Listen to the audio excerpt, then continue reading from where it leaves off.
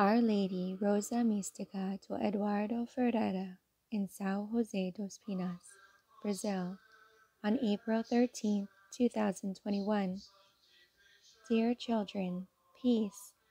I invite you to pray the Rosary for peace. I invite you to pray for those who do not yet know God and who refuse to accept His will.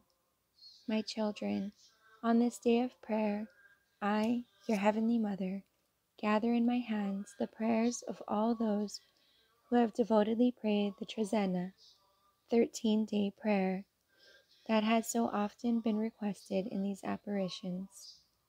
My children, it is necessary to pray.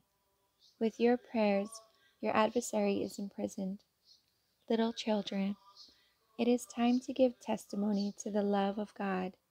On this Marian day, I also invite you to pray for young people. Pray as families. Pray also for my favored sons, the priests. I am Mary Rosa Mystica, Queen of Peace. I bless you in the name of the Father, the Son, and the Holy Spirit.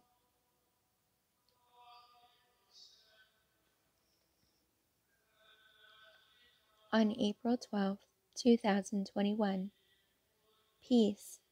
On this day, I invite you to be witnesses to the gospel of the Lord. I have come to São José dos Pinhais to encourage you and to tell you that my prophecies are being fulfilled every day, with the great sign approaching that will be seen in Medjugorje. Trust in my protection. Every day, the number of my children turning away from the Lord's path is increasing. Return quickly to the Lord. Work in defense of the Church. I am the mystical rose, Queen of Peace. I bless you in the name of the Father, the Son, and the Holy Spirit.